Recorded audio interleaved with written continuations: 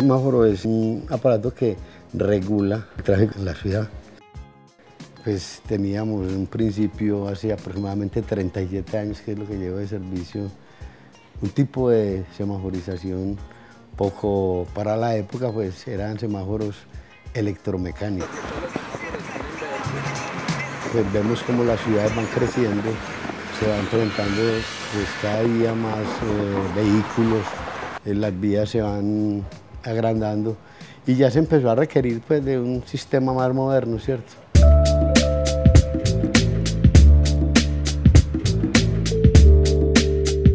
Posteriormente llegó otra tecnología más nueva, eh, entramos en la era de los eurocontroles y ya vamos por la segunda generación de los eurocontroles, Eurocontrol 1 y Eurocontrol 2.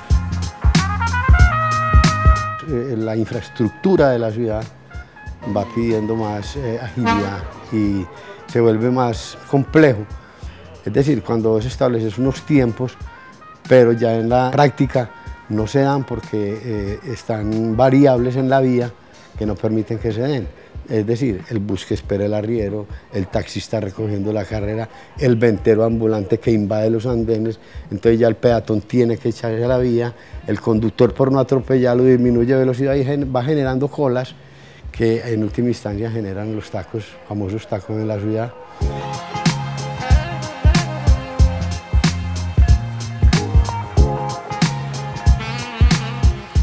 La persona en común asimila un semáforo como que fuera eso nomás, ese poste, y de que ahí se, dependiera todo.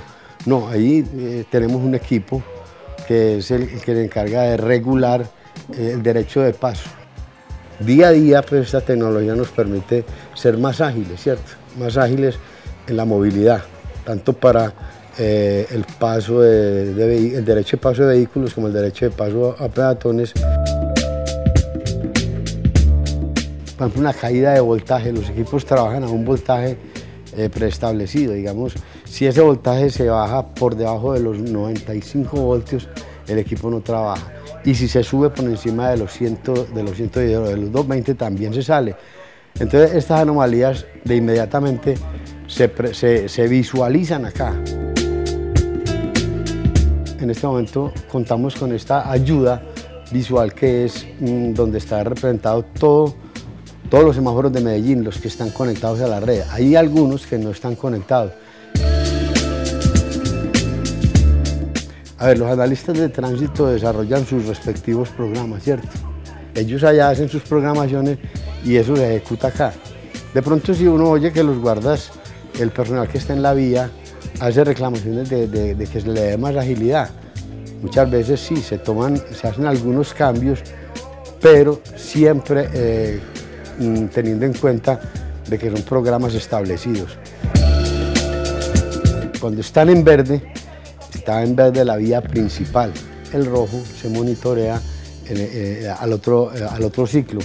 Los que es como con un puntico gris son equipos que eventualmente pierden la comunicación de momento, ¿cierto? Porque el sistema le está enviando la hora constantemente a, los equipos para, para tenerlos cumpliendo unos planos que se desarrollan.